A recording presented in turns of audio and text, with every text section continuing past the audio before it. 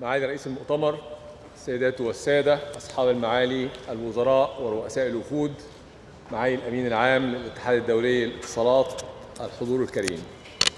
يطيب لي أن أتحدث إليكم اليوم بمناسبة انعقاد هذا المحفل الدولي واسمحوا لي بداية أن أهنئ حكومة دولة رومانيا على استضافتها وتنظيمها المتميز للمؤتمر ذي الأهمية الخاصة والدلالة المحورية.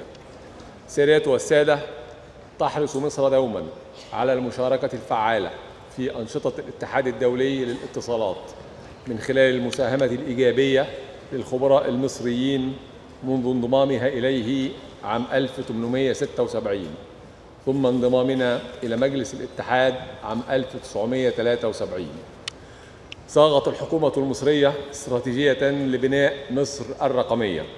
ترتكز على عدة محاور تستهدف تحقيق التحول الرقمي وبناء القدرات ودعم الإبداع وتوفير بنية تحتية رقمية قوية وآمنة فضلا عن إعداد الإطار التشريعي والتنظيمي الداعم لتنمية صناعة الاتصالات وتكنولوجيا المعلومات. ولقد نجحت مصر في مضاعفة متوسط سرعة الإنترنت الثابت ثماني مرات لتصبح الأولى إفريقيا وشرعت بالبدء في توصيل الخدمات الإنترنت فائق السرعة لنحو 58 مليون مواطن يقطنون ثلاثة ونصف مليون منزل في نحو خمسة آلاف قرية مصرية ضمن مشروع حياة كريمة. كما انتهينا من ربط أكثر من عشرين ألف مبنى ضمن مشروع ربط المباني الحكومية بشبكة الألياف الضوئية.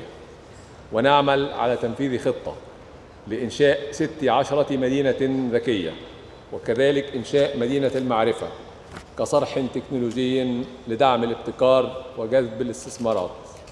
إن مصر تضع نصب أعينها بناء الإنسان كمرتكز أساسي لبلوغ مصر الرقمية.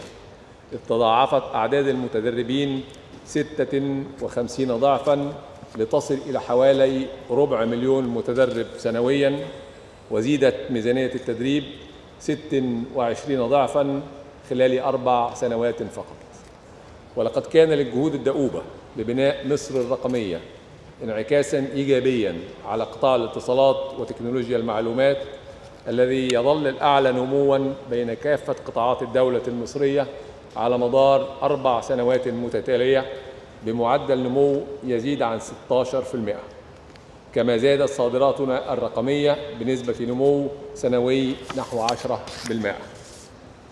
الحضور الكريم تطلع مصر دوما بدعم أنشطة الاتحاد حيث تستضيف المكتب الإقليمي العربي كما استضافت أعمال المؤتمر العالمي للاتصالات الراديوية عام 2019 وستستضيف فعاليات المنتدى العالمي لمنظمي الاتصالات 2023 الذي نتطلع لمشاركتكم الفعالة به. وتصبو مصر دوما إلى الاستمرار في وضع قضايا التغيرات المناخية ضمن أولويات الاتحاد. وفي هذا الإطار أتشرف بدعوتكم للمشاركة بفعاليات الدورة 27 لقمة المناخ الذي تستضيفه مدينة شرم الشيخ. مع صادق تمنياتي لحضراتكم بأعمال موفقة ومداولات مثمرة وشكرا. Thank you, Mr. President.